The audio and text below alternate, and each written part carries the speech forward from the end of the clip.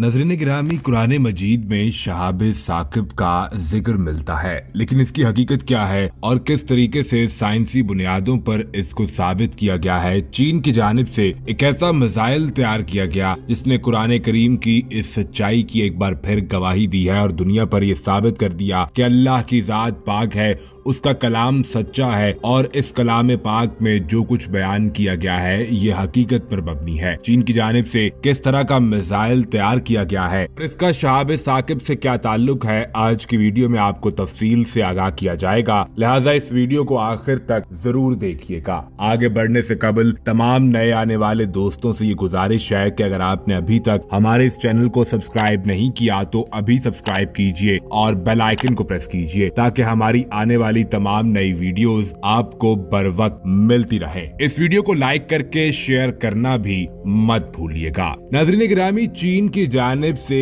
एक नया मिसाइल तैयार किया गया है। जब इस मिसाइल का तजर्बा किया गया और इसके जो नतज सामने आए तो इससे फौरी तौर पर दुनिया ये सोचने लगी कि इस तरह के नतज इस तरह की हकीकत का ताल्लुक और इसका बयान तो मुसलमानों की किताब कुरान हकीम में भी किया गया है। कुरान मजीद में शहाब साकिब का ज़िक्र मिलता है। अल्लाह रबुल की जानब से कुरान हकीम में दो अहम मुकाम पर शहाब साकिब का ज़िक्र किया गया है, जिसमें से एक शैतान के पीछे शहाब साकिब को लगाने का ज़िक्र है। इसके बारे में बताया ये जाता है कि जब नबी करीम सल्लल्लाहु वसल्लम का जहूर इस दुनिया पर नहीं हुआ था तो उस वक्त शयातीन आसमान के करीब जाते और अल्लाह रब्बुल आलमीन और फरिश्तों की गुफ्तगु को सुन लिया करते और छुपके से ये गुफ्तगु सुनने के बाद मुस्तबिल का हाल बताने वालों को कुछ हिस्सा बता देते और ये लोग अपने पास से और बातें बनाकर लोगों को मुस्तकबिल के बारे में बता देते देते। लेकिन जब नबी करीम सल्लल्लाहु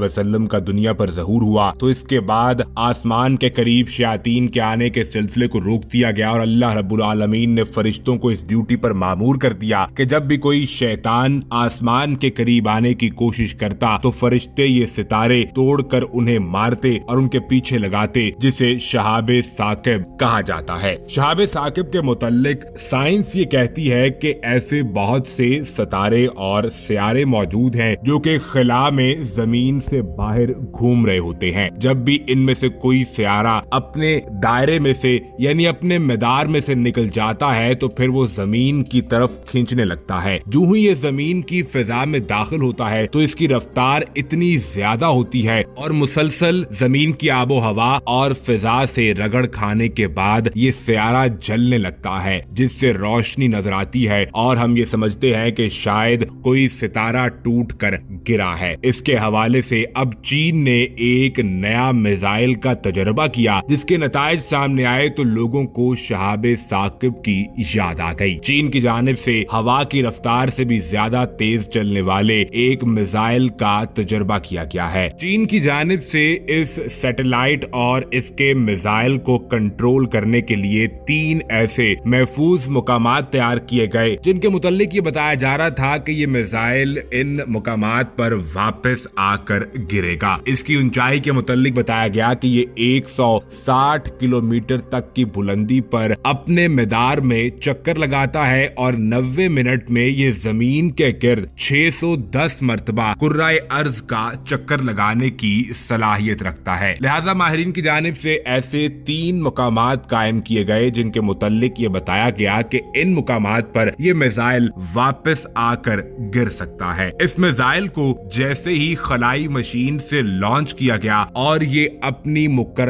रफ्तार को पहुँचा तो ये जलने लगा और इससे रोशनी निकलने लगी। ये मिसाइल अपने तीनों मुकर करदा मुकाम में से किसी एक पर भी वापस न आया और फिर चीन और अमेरिका और रूस के ऐसे खलाई स्टेशन जिन्होंने मिलकर इस पर रिसर्च करना शुरू की तो पता ये चला कि ये ज़मीन के मैदान से बाहर निकला है और वहाँ पर मुसलसल ये चक्कर लगा रहा है। हर नब्बे मिनट में ये 610 मरतबा कुर्राए अर्ज़ का चक्कर मुकम्मल कर लेता है। अब अगर ये ज़मीन के माहौल में वापस आएगा तो ये जलकर तबाह हो जाएगा। और मिसाइल जलने का मतलब ये है कि यहाँ पर एक बड़ी तबाही भी हो सकती है। लिहाजा ज़रूरी यह है कि ये अगर वापस आए तो किसी समंदर में जाकर गिरे, लेकिन कोई इसके मुतल बता नहीं सकता। नाजरीन ग्रामी इसी से साइंसदानों को ये अंदाज़ा होने लगा कि शहाब साकिब जो ज़मीन के बाहर कुर्रा अज के गिर चक्कर लगा रहे होते हैं, जब ये ज़मीन की तरफ़ आने लगते हैं और अपने मैदार से बाहर निकलते हैं तो ये ज़मीन की फिजा से मुसलसल रगड़ खाकर जलने लगते हैं और इतना ज़्यादा जलते हैं कि इनसे रोशनी पैदा होने लगती है। लेकिन फिर ये किस मुकाम पर जाकर गिरते हैं, इसके मुतल कोई नहीं जानता है कि हर टूटने वाला सतारा,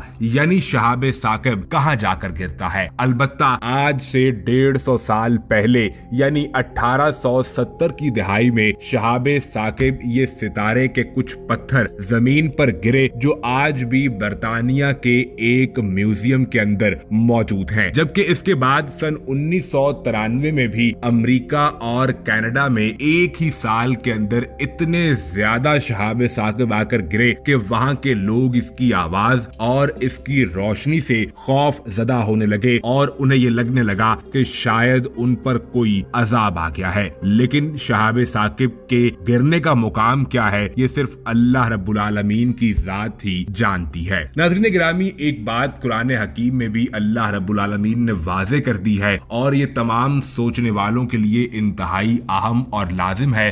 अल्लाह ने कुरान में वाजे कर दिया कि उसने सोचने वालों के लिए, ढूँढने वालों के लिए इस कायनात के अंदर बहुत से राज पोशीदा रखे हैं। लिहाजा जो जुस्तजू करता है जो अल्लाह को ढूँढने की कोशिश करता है तो फिर वो अल्लाह की इस कायनात के निज़ाम को समझने की कोशिश करता है और इसके अंदर मौजूद हिकमत और जो राज पोशीदा है, उस तक पहुँचने की कोशिश करता है और फिर इसी के ज़रिए वो अपने मालिक, इस कायनात के खालिक और इस कायनात के पालने वाले तक पहुँच जाता है। फिर उसकी बड़ाई को बयान करता है और फिर उसकी जबान ये पुकार उठती है कि इन अल्लाह अला कुल शयन कदीर, बेशक वही जात है जो हर चीज़ पर कादिर है। जो वो ना चाहे तो इस ज़मीन पर एक पत्ता भी नहीं हिल सकता। वही कुन फयाकून का मालिक है, और हम उसके हरफे कुन के मोहताज हैं। हमारी जिंदगियाँ, हमारी साँसें हर चीज़ उस मालिक की मोहताज है। बस ज़रूरी ये है कि जिस तरीके से अल्लाह ने हमें ज़िंदगी गुजारने का हुक्म दिया है, कुरान में यह हुक्म वाज तौर पर बयान कर दिया गया। नबी करीम अलैहि वसल्लम की जाते पाक और आपकी ज़िंदगी मुबारक हमारे लिए मशल राह है। अल्लाह हमें इस पर अमल करने वाला बना दे। आमीन,